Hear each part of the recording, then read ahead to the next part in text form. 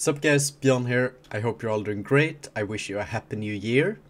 Today we're taking a look at the Survival Hunter tier set for 9.2, so it's gonna be a very fun video. I have some nice 9.2 PTR footage here for you guys, and I'm gonna go through just what impact the 9.2 tier set is really gonna have for the Survival Hunter. So we're gonna take a look at the gameplay impact, uh, stats, uh, what you can expect to see from it in terms of uh, numbers, damage output, everything you can think of basically.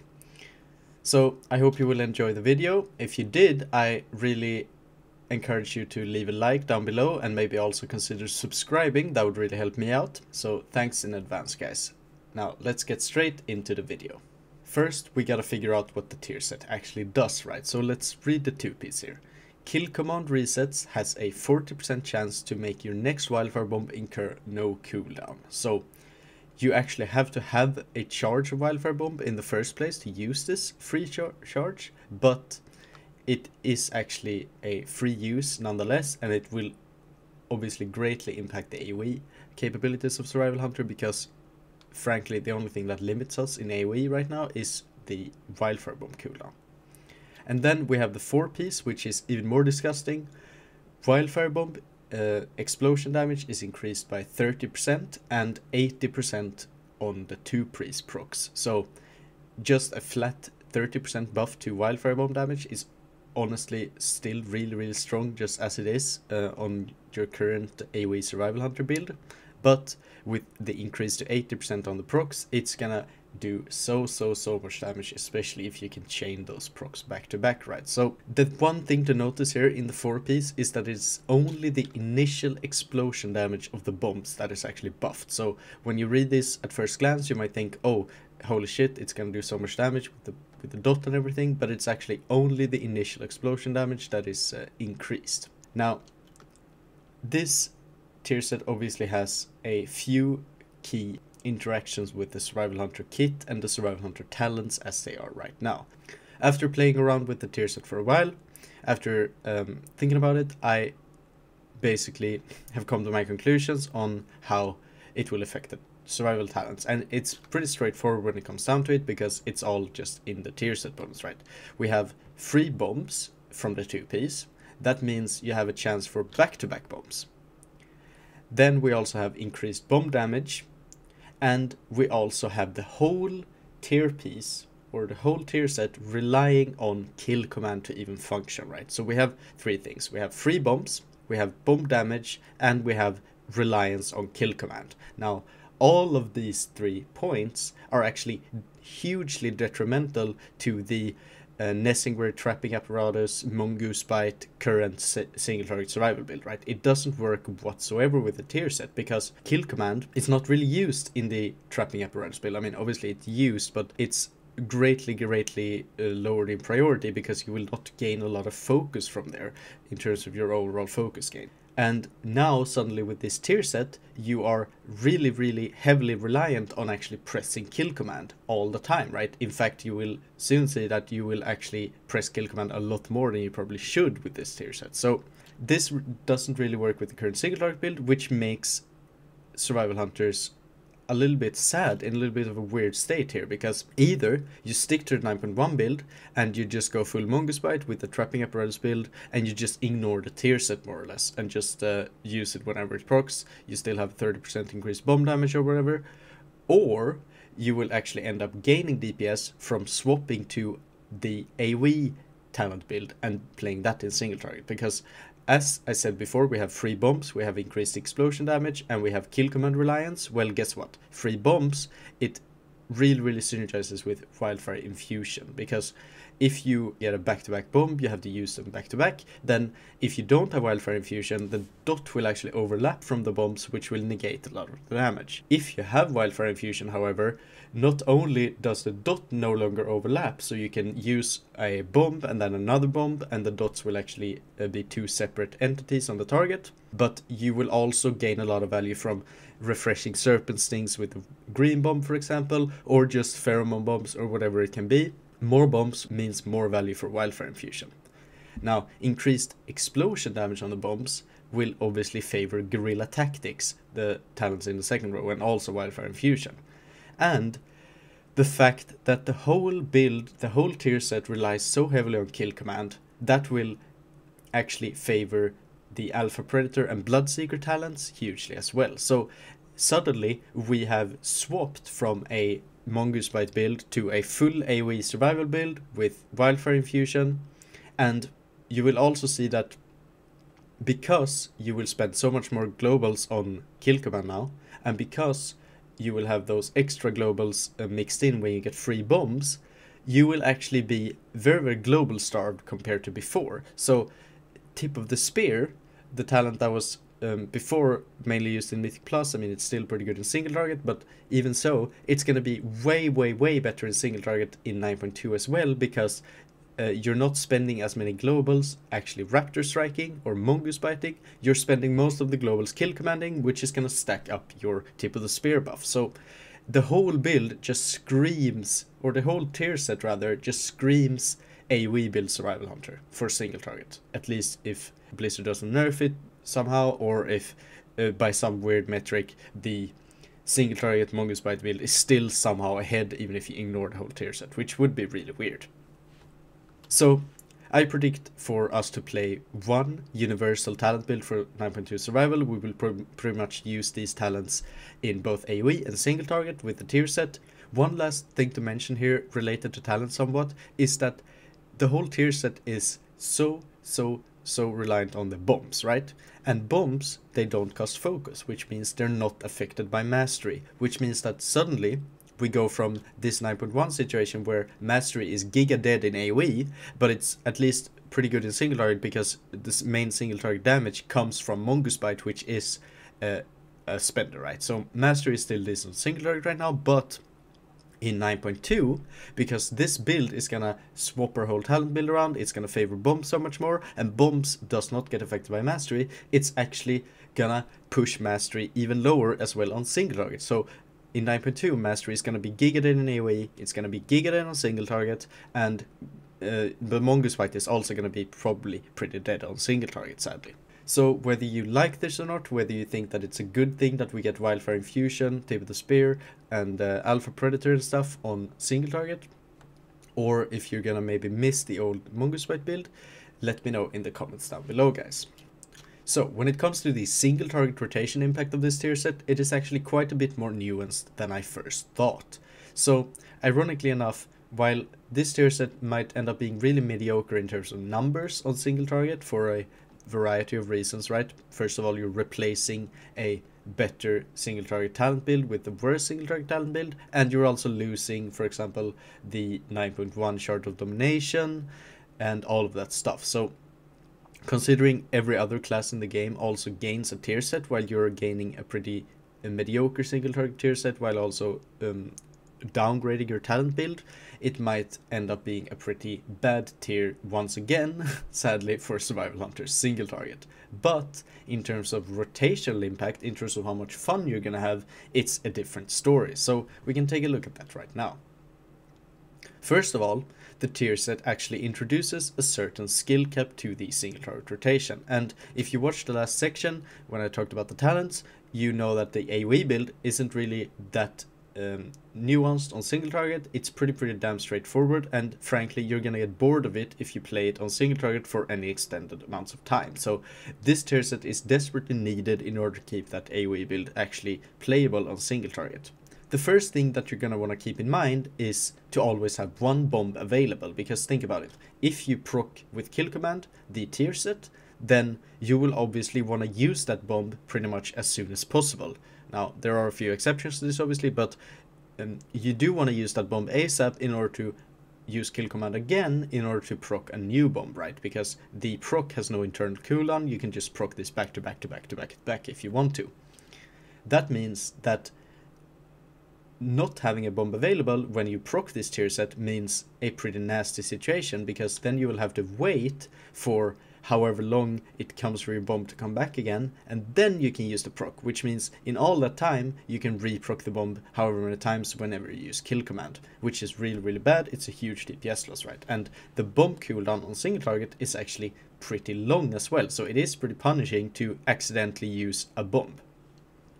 Now, this does introduce a certain skill cap, however, because you also have to keep in mind, for example, refreshing Serpent Stings with the green bomb, the Pheromone Bomb impact on all of this, with uh, guarantee resets on kill command, and stuff like that. So there is a skill cap here, but in reality, you've also got to keep in mind that Survival Hunter was already pretty much overflowing with focus and uh, globals to pump out before this, and now you have an even higher priority on your main generator, which is Kill Command, and you also have more globals to spend on bombs, which means that you're actually gonna have even more focus, you're gonna have even more resources, you're gonna be over generating a lot, and that essentially also means that you will have a lot less uh, punishing mistakes to do because even if you throw out the bomb or you press the wrong global or anything, you're gonna have plenty of resources, plenty of focus, plenty of kill command stacks, plenty of tip of the spear charges or whatever to actually still do some decent damage in that downtime. So take that with a grain of salt, but still, there is some skill cap here. And there is also some improvisation because obviously if you get a proc, you have to react to it, um, which was already present somewhat in the Wildfire Infusion talent and in the uh, kill command resets and stuff like that, but realistically, there wasn't really any improvisation needed in this Survival Hunter AoE build, so the fact that we get a nice proc that actually does a good bit of damage that we can um, play around is in and of itself at least pretty nice. Now, let's get to the bad parts of the single target rotation, because First of all, this thing that we're talking about here is a proc that triggers off of a proc, right? So it can get very, very, very nasty with the RNG.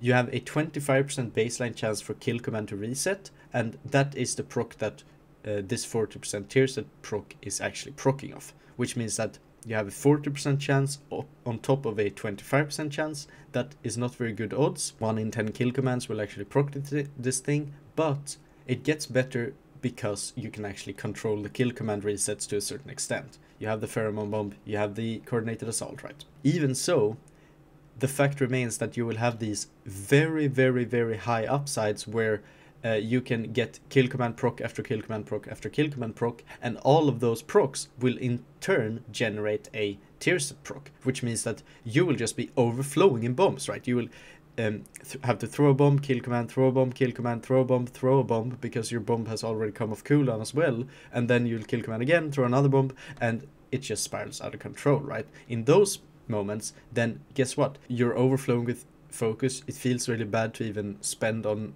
Raptor Strike or uh, especially Serpent Sting, right? Raptor Strike, at least you'll have tip of the spear, but spending on Serpent Sting when you could kill command in order to generate more bomb charges, even when you're at 100 uh, focus, it feels pretty weird. So that isn't really that great either. And on the flip side, if you run into a situation where you generate no kill command resets whatsoever, then you're not only hampered by the fact that you will suddenly have no focus, but you'll also get no procs, which further hampers your focus generation. So it definitely um, hurts the uptime a lot when this thing isn't procking. You can also see how this is a very, very bad situation if you end up playing too much into this and you want to proc this thing. So you sit at 100 focus and you uh, spam kill command even at 100 focus to generate these procs, right? If you do that, and then you suddenly run into a dry spell where you will get no kill command procs whatsoever. Then you're sitting at 100 fury, or 100 focus, sorry, I don't know why I keep calling this thing Fury. 100 focus, and you have no kill command procs, you might have no bombs, and all you have to do is Raptor Strike, right? And you could have actually prevented this by playing more um, conservatively earlier, right? You could have been Raptor Striking more instead of kill commanding at 100 focus, and that is really the uh, pitfall of this tier set, right? Because it encourages fishing for those procs, especially as we're gonna get into soon on AoE. Don't even get me started on the AoE. But even on single target, especially in cooldowns, especially when pheromone bomb is there, right? If pheromone bomb is on the target and you're at 100 focus, your brain is thinking like, but what if I kill command and get a proc? But what if I kill command and get a proc, right? And you end up spending kill commands, even though you should probably Raptor Strike. That is pretty sad. Another problem with this tier set is that it essentially makes it a crime to use bombs when you're below 2 charges on the bomb, because as I said earlier, you need one bomb at all times available for the proc, so if you're using a bomb without the proc, but you only have one bomb available, guess what? You're gonna have zero bombs. So you do actually have to have two bombs in order to use an ordinary bomb, which can um, get pretty problematic when you need to refresh uh, Serpent Sting or when you need the Pheromone Bomb to generate, for example. So just a little uh, weird interaction there, but that might also play into the skill cap later, who knows. Okay, so let's get into the good stuff, guys. The AoE rotation, the impact on the gameplay here. So this is obviously where you'd expect this tier set to shine. And I am saying yes, it does shine, but also no, it does not shine here, sadly. And we'll get into exactly why. So, first of all, in terms of numbers, it is good, obviously, right? We could all see that from the 80% increased bomb damage and, um, yeah, the big crits here, especially in like uncapped AoE, it's gonna be absolutely crazy. So, yes, in terms of numbers, it is good. But in terms of rotational impact, it is actually incredibly detrimental, sadly. And I didn't see this coming. I don't know how I didn't see this coming. It was maybe pretty obvious in hindsight, but think about your AoE rotation on the Survival Hunter, guys. So you have more bombs, you have Carve uh, as an extra spender, and now you also have Kill Command, right? Because before you weren't really uh, that resource starved on AoE, right? You could carve, bomb, and then uh, Raptor Strike in between, or Kill Command when you needed to. But now, since you're generating these procs with Kill Command, you're extremely, extremely incentivized to Kill Command on AoE, which just ruins the whole rotation spectacularly, in my opinion, sadly, because while as before you had a nice mix of spending, of generating, and actually playing around that. Now you only have bomb, carve, and kill command because if you're not bombing, if you're not carving, then you always basically want to be kill commanding because if, if you're not kill commanding, then you're not generating procs. So obviously there's going to be some times where you just don't have a kill command up, you don't have a carve up, and you don't have a bomb up, and that might happen. But generally, you always have at least kill command or carve or bomb up, which means that your rotation basically looks like this, especially with heavy haste. You do a bomb, right? Because you're two charges, so you throw the bomb, then you carve, and then kill command, and here, normally you would obviously stop kill commanding after one kill command, and you would have another global to Serpent Sting, or to Raptor Strike, or to do whatever you liked, right? Or to second bomb even. But now, you don't have any incentive to actually spend that th that global on a Serpent Sting or a Raptor Strike. You just have an incredible incentive, especially if you're in cooldowns or with Pheromone Bomb, to spend it on Kill Command, right? Because that reset on Kill Command is actually gonna get you so much AoE damage, it's actually nuts. Which means that in reality the rotation becomes Bomb, Carve, Kill Command until you get a proc.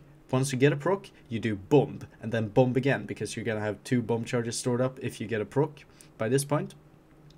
If you don't have a proc by this point, you will just have to spend that uh, one bomb without the proc and um, carve again and repeat. If you do get procs, however, this gets incredibly crazy because uh, remember, you're gonna spend one extra global actually spending that extra bomb you're getting, and that extra global spent makes it even harder to fit in Raptor Strikes or Serpent Stings in between your carves. So essentially, you're just doing carve and then you're doing kill commands in between those carves, and whenever you have a bomb ready, you use the bomb. So essentially, the rotation only consists of bomb, carve, kill command. So all this stuff with extra globals here and there sounds really complicated. What does it really mean for the AoE rotation? Well, in reality, on 5 target AoE, when I tested for extended amounts of time, I could count on one hand the number of globals that I got outside of those three spells that I just talked about. So it's actually quite crazy how few globals you have to spend on anything else now.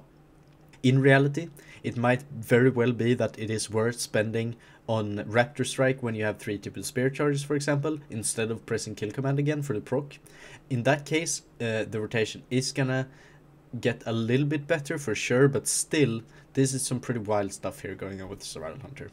And maybe you're sitting at home right now, salivating, thinking, Bjorn, what the hell are you talking about? This is Survival Hunter's wet dream. I just get to bomb and carve. That's all I want to do. And in some ways, you're right, right? This is Survival Hunter's wet dream in a way. But the problem is, it's so utterly brain dead and it's not reliable enough, right? If you could actually make sure to proc those bombs all the time, then it would be pretty fun. It would obviously lose some of its charm just by nature of proccing more often, but it would still be really nice to just pop off with those big bombs. The problem comes from the bombs not actually proccing that often. So you do get these huge upsides where you proc four back-to-back bombs, you do a fuck ton of AoE damage, and uh, everyone's gonna look at you and say, holy moly, what did you just do to that pack?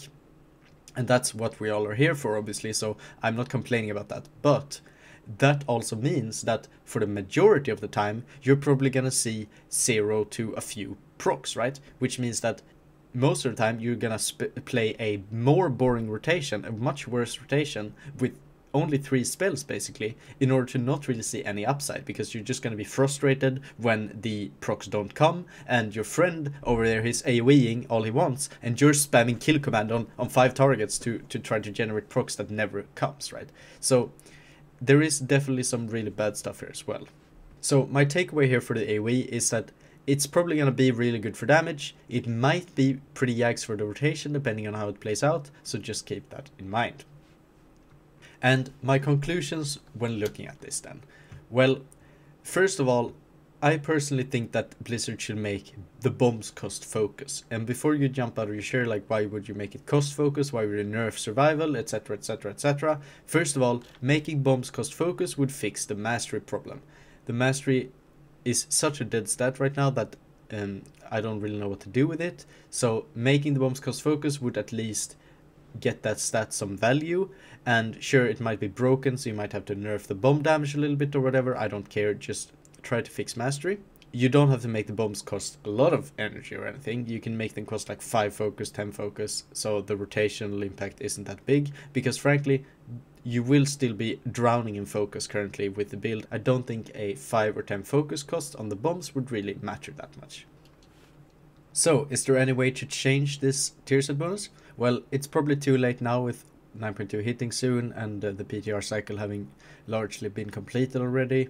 And um, I honestly don't really have any amazing ideas either. But one thing I thought of was maybe to move the um, proc of the tier set from kill command resets to some other spell because having that proc on your uh, generator feels very strange. It doesn't really feel great to sit with full resources just spamming generators in order to um, generate procs. So maybe move it to a spender. I mean, the obvious one would be Raptor Strike, right? And I think Raptor Strike could work fairly well because it will um, proc maybe more often in single target. If you put it on Raptor Strike, just a 40% increase or 40% chance to proc on Raptor Strike, I think could be fine here.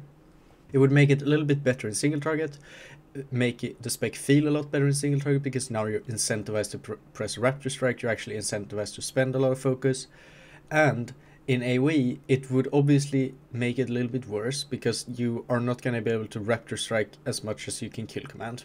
So uh, we might want to look into it there. But at the same time, I think it's really, really nice to be incentivized to use Raptor Strike on AoE because you already have Carve as a spender there and uh, Serpent Sting obviously if you want to keep that up. So AoE is where the focus um, starvation can really come into play if you're playing the Survival Hunter poorly, for example. But right now, with how the tier set bonus works, that is just completely negated by the fact that you want to spam kill command in AoE, right? So you will never, ever, ever run out of focus in AoE. In fact, you will just largely sit at 100 focus in AoE. And th that feels really bad. It feels terrible to play the Survival Hunter that way. You're just largely ignoring most of your spells and mostly just pressing bombs and carves. So I would really like to see it move to, to Raptor Strike personally. I think it could be more fun to play in AoE and in single target. But let me know what you guys think in the comments down below. I'd be really happy to hear from you what suggestions you have. And I hope you guys enjoyed the video. I'll see you in the next one. Bye bye. Huh? Oh, you're still here. Well, I'm sorry. I think you should uh, probably go and check out a video maybe over here or somewhere here. You can even subscribe down here. That would be really, really nice. I would highly appreciate that. Uh, I'm gonna go snort some more lines. See ya. Sitting there salivating right now. You don't understand why I don't like this. You're saying, whale, this is survival hunt. Whale! You're saying whale.